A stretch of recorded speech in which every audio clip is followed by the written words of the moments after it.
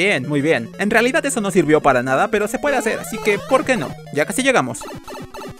Ok, aquí está la mamá de Mario, María.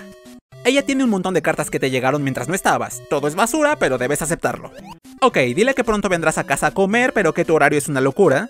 Y van a retroceder un poco hasta ese bote de basura donde vacían sus cartas. Ok, ok, aquí viene, aquí viene. Vean esa puerta, la atraviesan y van a llegar a este cuarto secreto. Esto es lo más loco. Ahí hay dos monedas. Las van a tomar y con ellas van a compensar las dos monedas que le dieron al cupa de la camioneta. Y es todo. No hay forma de salir de la habitación, así que tienen que resetear el juego. Muy bien amigos, nos vemos en la siguiente.